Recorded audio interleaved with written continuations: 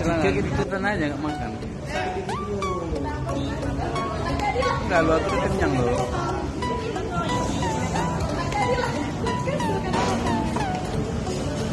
Bukan ya.